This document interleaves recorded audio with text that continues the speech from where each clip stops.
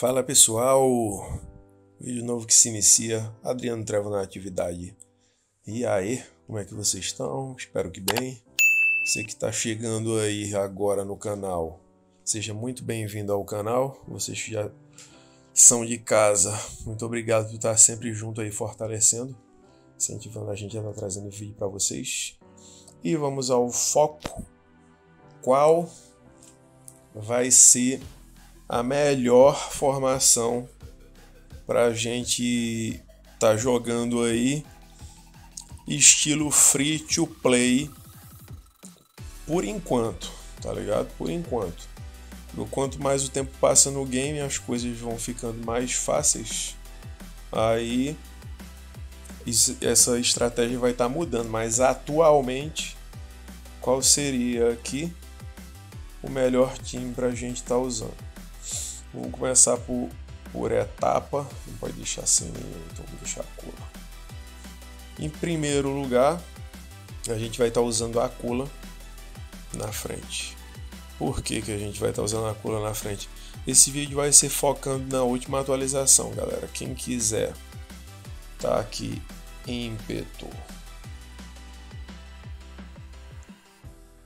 Quem quiser estar tá desbloqueando isso daqui fácil, o ímpeto 4, que dá bastante power, dá reviver, bem apelão, a gente vai ter que estar tá procurando uma forma barata, né? Quem é free to play, de ajeitar isso aí. Aí, como vocês sabem, a Kula é um char SSR, a cobra para abrir é um ímpeto 5 estrelas. Eu postei aí num vídeo anterior mostrando como a gente vai estar tá conseguindo vários ímpetos 5 estrelas facinho aí. É... Aí, enfim, cobra o ímpeto 5 estrelas e ela é um char UR. É um char UR que é barato de ajeitar, tá ligado? Futuramente ela vai virar SP. Ela é um char indispensável para quem é free to play. Até os pay to win usa, quanto mais os free to play, beleza? Aí, em primeiro lugar de tudo, Kula, porque também vem muita arminha dela por moeda de recrutar, né? É um personagem muito fácil de ajeitar. Logo, logo vai estar tá, é, saindo o S-Max dela. Ela fica muito forte, é aquele especial que pega nos 6. É... E todos esses char que é... a arma deles sai por moeda de recrutar fácil, vem bastante, é indicado estar tá usando para você conseguir fortalecer seu time fácil, tá ligado? Outro personagem que a gente vai usar aqui vai ser o Iori, porque é a mesma, mesma coisa, por ser barato, tá ligado? Ímpeto. Eu vou precisar aqui de um ímpeto 5 estrelas, que é fácil de conseguir. 3 gota. Até aí tá tranquilo. Se eu fosse vir para um, um Amakusa, para um Guise, eu ia estar tá precisando de um ímpeto 6 estrelas. Tem muito cara aí que tá querendo ímpeto 6 estrelas para usar nos personagens ainda. O cara não vai estar tá detonando, jogando fora assim, tá ligado? A gente tem que ajeitar um time de SSR por ser mais barato e deixar bruto. Aí conforme for acontecendo o desenrolar do jogo aí, se você tiver uns ímpetos reserva é, 6 estrelas aí que você não vai usar, você começa a trabalhar em algum UR, também tem que deixar o UR 7 estrela que sai um pouco caro, tá ligado? A gente tem que estar tá vendo a forma mais barata de ficar com muito power no time principal. É, outro personagem que a gente vai estar tá usando aqui nessa formação vai ser o Orochi. O Orochi não é tão fácil de deixar 7 estrelas, mas também vem bastante evento dele aí por moeda de recrutar. A gente consegue estar tá pegando armas dele tranquilo aí. É, já existe o S-Max dele, né? O especial dele que pega nos seis personagens. Ele bota uma porrada de doença. Ele é estilo tartaruga, ele é bom para estar tá na frente.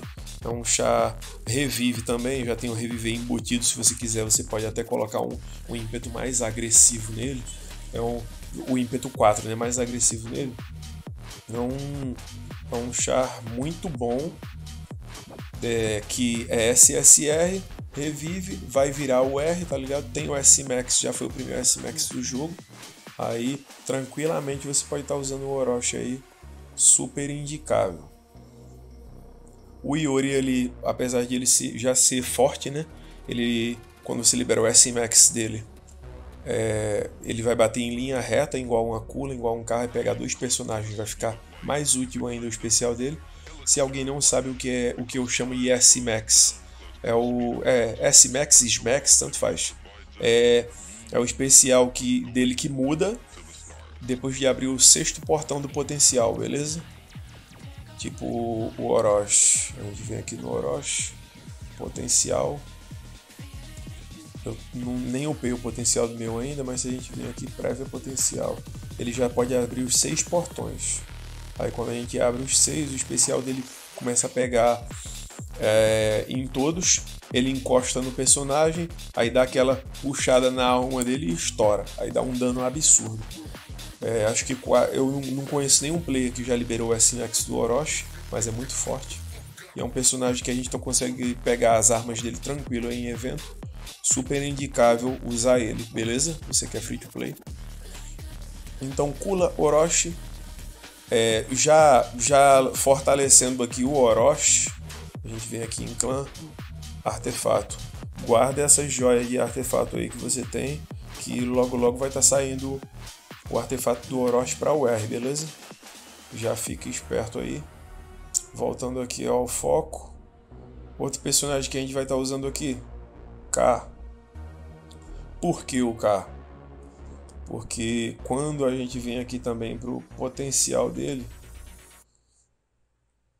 a partir do 4 aqui, aliás, não tem nem nada a ver com o potencial, viajei aqui, é isso daqui mesmo quando a gente está liberando isso aqui, é, aqui ó, lá em cima, quando a luta começa, dá um acúmulo de reviver.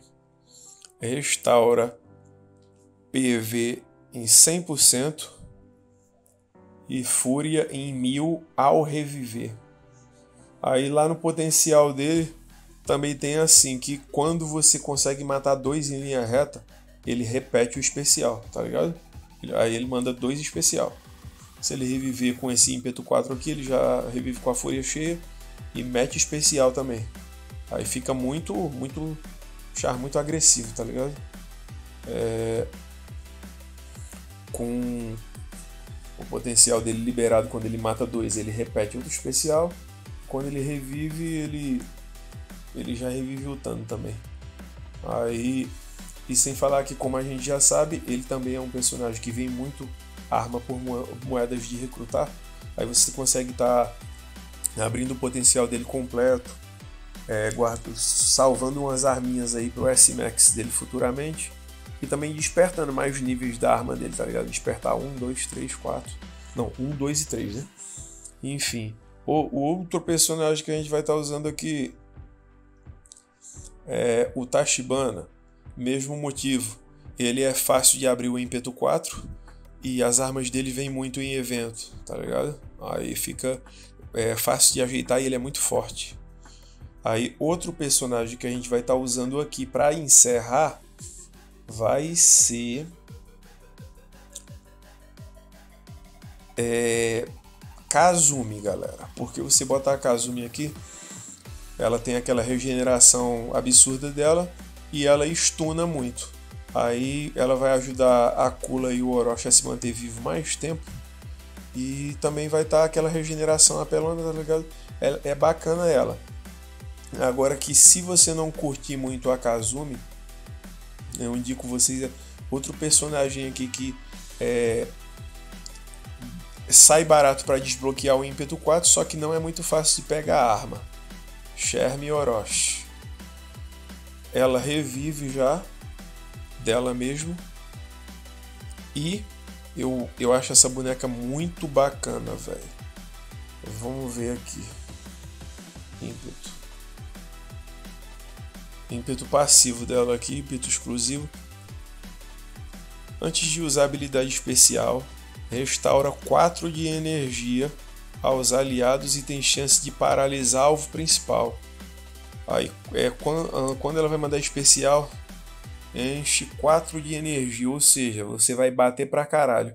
E, você, e, e quem já jogou com a Sherm ou já foi contra ela, sabe que o especial dela faz aumenta o custo de energia dos personagens que pega, né? Se o seu personagem vai mandar um 3, começa a pedir um 4, se vai mandar um 1, começa a pedir um 2, ela dá um prejuízo na energia do oponente, faz ele acabar a energia rápido e lutar pouco, e também é, restaura a sua energia quando manda especial.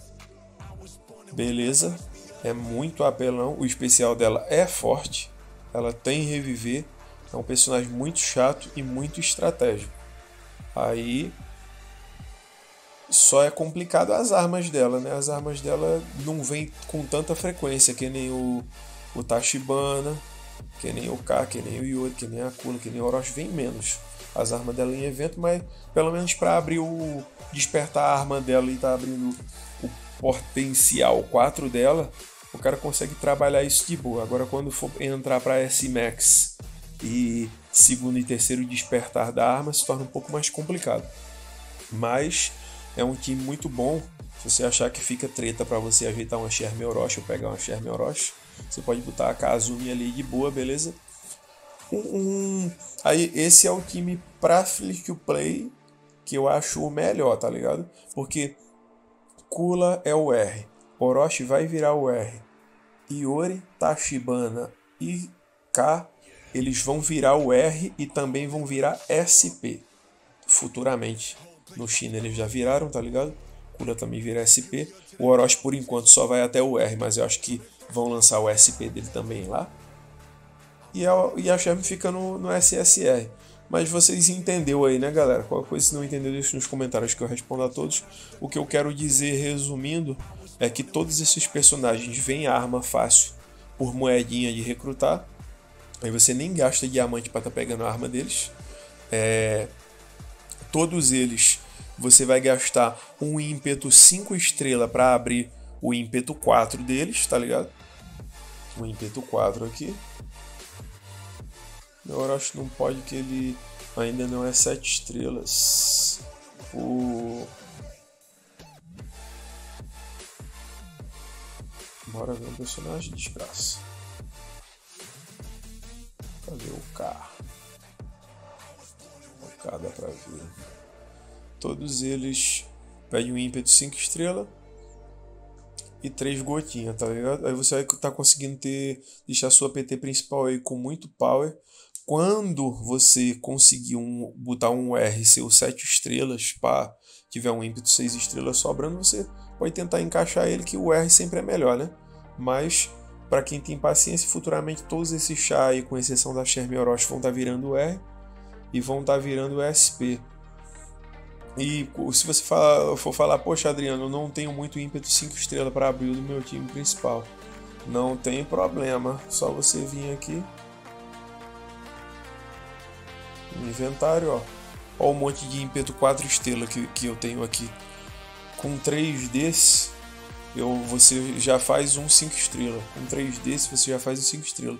Você pode olhar aí no seu inventário que com certeza você vai ter alguns ímpetos aí sobrando desses roxinhos.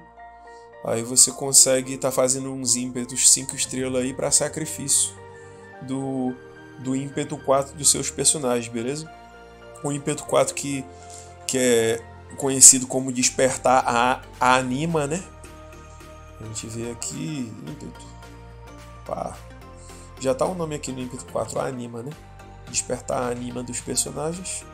Então é isso, galera. O vídeo era esse. Se você não entendeu alguma coisa, pode deixar no comentário que eu vou respondendo a todos. Se você acompanhou o vídeo até aqui, muito obrigado pela sua companhia.